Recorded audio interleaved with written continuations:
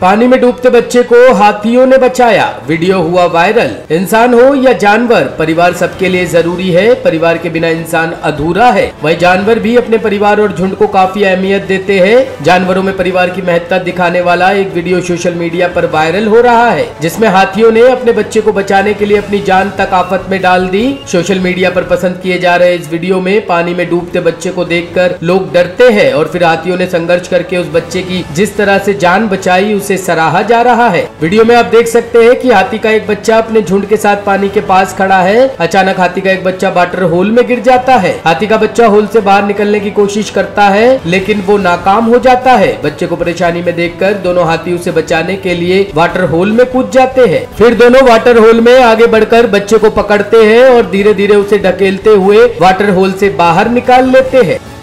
Bureau report, team top story news.